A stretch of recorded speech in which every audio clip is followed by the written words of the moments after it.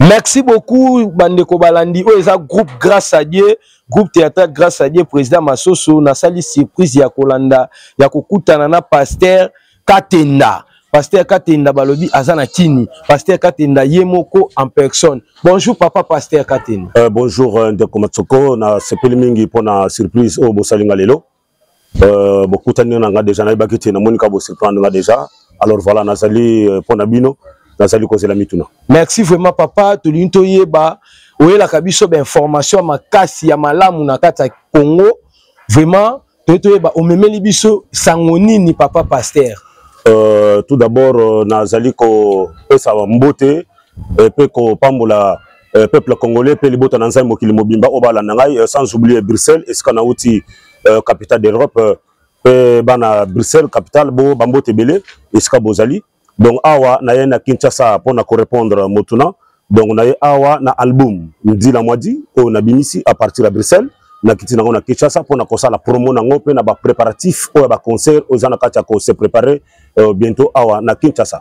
nzila mwadi nzila mwadi wana nayokaki yango na ba youtube na ba a facebook parci par là naye nayeba nzila mwadi elakisi nini bacongolais bato oyo nyonso to bazolanda yo ospike biso nzila mwadi eza nini papa euh, nzila mwadi c'est-à-dire que ezali euh, toloba lamentation donc euh, nazali ko kosolo na nzambe donc nazali koloba na nzambe donc kopresente makambo na ngai epa nzambe donc omoni ke albumu yango oyo donc ndila mwadi eza titre ya albumu mpe ezali nzembo na kati ya albumu oyo donc ndila mwadi c'est-à-dire que nazali kosolo na nzambe koyebisa nzambe makambo naza nango mpo nzambe apesa eyano par rapport à ba circonstances oyo tolekanaka nango alors ezali message oyo naye nango mpo na kopambola libota na nzambe mpe mpo na kopesa mpe libota na nzambe solution à travers nzembo c'est-à-dire quoi ezali euh, koteya na kati ya loyembo donc c'est lamentation merci papa nzila mwadi ezali album sikoyo ouais. album yango ezali na combien de chanson na kasti wana ah, ça c'est une très bonne question donc album eza na 7 titres sept titre, sept titre, ouais. titre ya liboso ezali nini euh, papa? Uh, titre ya liboso yango ezali awa bolingo euh, kondima ya solo mokonzi wari komborera mukalenga nzila mwadi eh, changulangula wana nde batitre nyonso oyo ezali na kati ya euh, album oyo vraiment papa pasteur kongo mobimba balandaka yo na youtube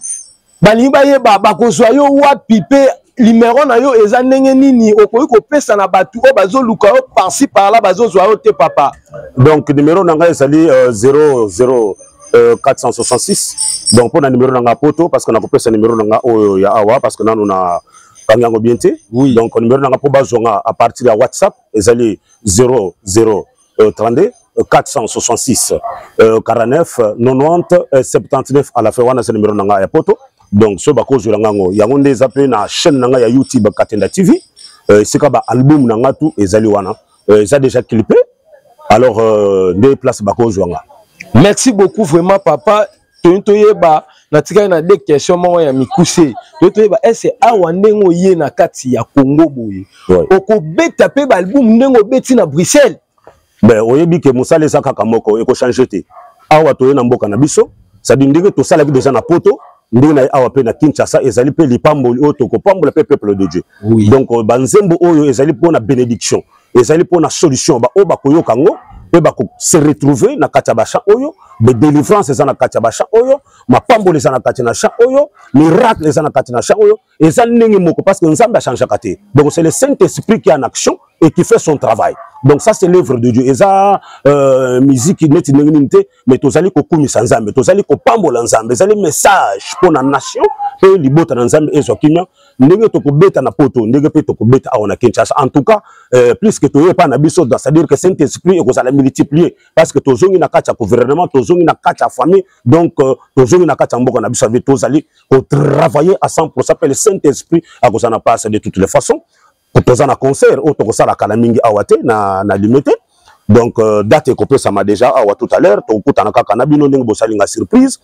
tokopesa bamakambo nyonso tu saint esprit akozala na action mpe nzambe akomimonisa na kati na album oyo mpe na baconcert tokosala awa na kinshasa mpo la gloire ya ye moko nzambe na lola merci beaucoup vraiment papa olingi bato mingi bato mpe balingi yo mingi papa parce que tozoyoka masolo na yo bato bazoyoka bazoloba vraiment paster katenda maloba ya suka okoki koloba na peuple congolais na bakinois bakinois baniokwami mingi vraiment balobi nzembu na yo banzembu na yo eye kokonsole bato liloba suka tokosenga kaka gouvernement soutenir yo leta soutenir yo nzambe mpe abakisa yo susu auction yo okoki koloba nini mpo na liloba suka papa moi je pense que uh, na maloba oyo mpenza totuna papa soki papa akopambola mpe su bana na nzambe amen eh, mwana mwa na partage mwa mokie mwa 2 minutes à vous papa osala conclusion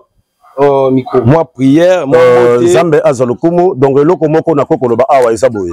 la bible nous dit allez faire toutes les nations mes disciples donc quand on fait des, des nations des disciples bazali koya bandimi na kati na nkolo donc ntango ozali disciple disciple azali disciple oyo azali discipliné on va trouver la discipline na kati ya mondimi bien bien dans le seigneur nzambe azali juste nzambe abatikaka bana na ye te soki omipesi epai na ye okozwa solution na kati ya vie na yo mobimba la bible nous dit ceci oyo amipesi epai na ye nzambe jamais akotikaka ye te nakorepondre na motuna wana olobi ke euh, bapeuple kinois baza na badifficulté problème ezali ya qu'est ce qu'on peut faire bien aimé il faut kotya espoir epai na nzambe soki otie elika no epa nzambe nzambe akose manifeste na kati na bomo na yo soki yo moko nzambe azali komona yo c'est-à-dire met la parole de dieu en pratique et reste fidèle avec dieu etambola malamu bangaka makambo bangaka kokota na vie ya bato bien aimé laisse moi vous dire quelque chose nzambe apambolaka motu oyo arespektaka mibeko na ye nzambe apambolaka motu oyo azali kovanda na kati na liloba na ye aujourd'hui beaucoup de gens perdent leur vie parce que bazali kobunga bazali kokende libanda bato mosusu bake kosimba bakisi bato mosusu bake kotala bato oyo baza na eloko na nzambe na kati ya bomoi na bango te ce que je voulais dire bien aimé dans le seigneur kangama na nzambe nzambe nde solution kangama na nzambe ye nde moto akopesa eyano na kati na bomoi na yo Bien aimé dans le Seigneur, Dieu est vivant. Jésus existe. La parole de Dieu est vivante. Ce qui au côté na kati na loba na Nzambe, Nzambe akomimonisa na kati na ba projet na yo. Misala na ozo sala, ba mombongo na ozo sala. Cha Yesu na kati na na, na makambo no tozo sala et tu trouveras la solution dans tout ce que tu fais faire. Et le comme sous na ko bakisa bien mais dans le Seigneur, la porte part de la foi. La foi vient de ce qu'on entend. Moi, je peux vous dire aujourd'hui que la foi, c'est Dieu. Parce que Dieu a créé toutes choses par la foi. soki nzambe ye moko azali na kondima te alingaki yela motu te mais sikoyo yo motu ntango bakeli yo soki oza na kondima tu feras encore plus que oyo bato mosusu nano basali te pour terminer bien aimé dans le seigneur jésus christ na bayekeli no na kati ya barke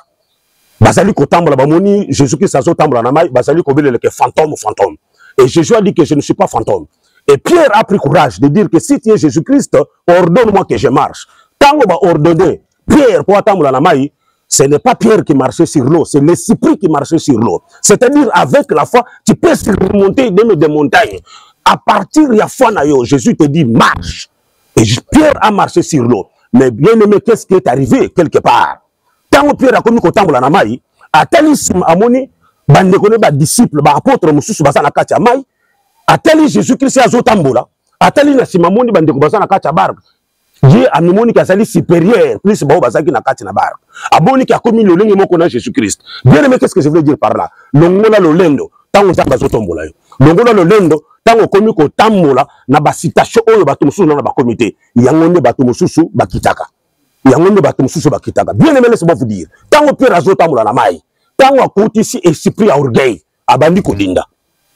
akomi kosenga secours nzambe atombolaki yo telema kaka na eloba na nzambe longola orgueil soki nzambe atomboli yo tika kolakisa ke yo oyebi koleka bamosusu ngolu nzambe apesi yo wana yeba kobatela yango mpe considere bango baza pembeni na yo parce que nzambe mpe aza na kati na bango bien aimé steve suma vous dire encore na kati ya lobumu oyo nayembi makambo wana tika lolendo tika nzambe akamba yo lolendo yango nde ozokweya lolendo yango nde bato bakomi kolakisa yo misapi ozaki na ngolu ya koteya malamu ozaki na ngolu ya koyemba malamu orgueil lokola pierre yango abandaki kodinda alors nalingi te yo odinda nalingi yo ocontinue toujours en tant que moto azalaki na kondima oyo esengaki ordonne moi que je marche aujourd'hui je suis venu te dire lève toi et marche et tu verras la gloire de dieu et Dieu se manifestera dans ta vie, dans tout ce que tu fais, au nom de Jésus-Christ de Nazareth. Nzambe na lola apambola bino, Nzambe na lola amona bino, que dieu vous bénisse soki bolingi bocontacte ngai nasi napesaki déjà numéro mpe esili awa te tokokutana kaka awa na chaîne oyo mpo topartage na bino loba na nzambe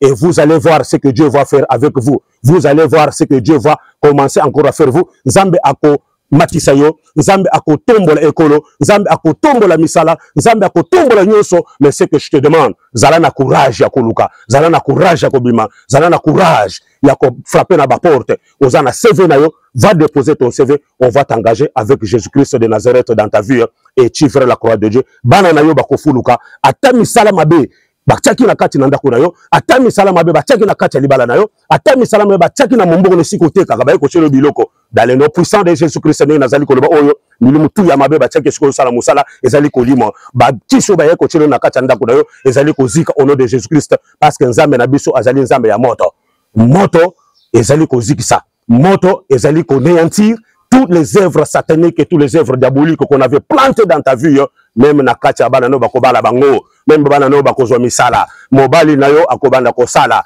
biloko zote ka moke wana okosomba ndako, dans le nom puissant de notre Seigneur Jésus-Christ Nzambe apambola bino tokomona na bino mbala ya nsima que Dieu vous bénisse